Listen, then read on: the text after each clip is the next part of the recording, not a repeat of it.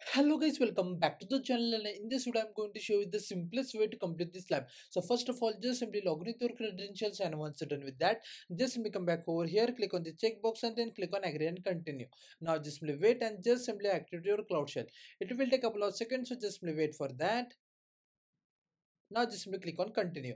Now what you do just simply come back to the lab instructions and just simply click on the task number one. And from here you can see this region. So what you do just simply copy this region like this way. And make sure that you do not copy any extra space. So just simply copy like this. Now in the description box of this video i will share all these commands. So just simply paste the region over here like this way and make sure that there is no extra space after equal to. Now copy all these commands like this way and make sure that you have to copy this full stop as well.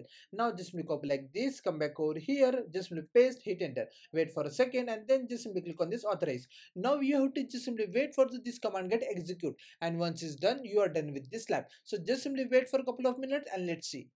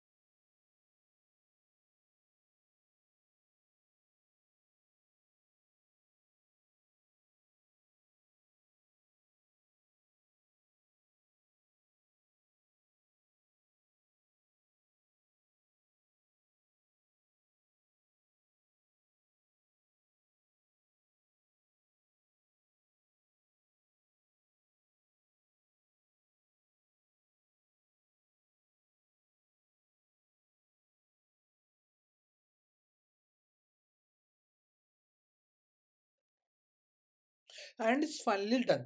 Do not worry about this error. If you just simply come back to the lab instructions and click on the check my progress for each and every task you will get a score without any issue. And if the score is not updated no need to worry. Just simply wait for a couple of seconds and you will get a full score on this lab without any issue. And that's the way we have to complete this lab. If you still have any doubts please do let me in the comment section.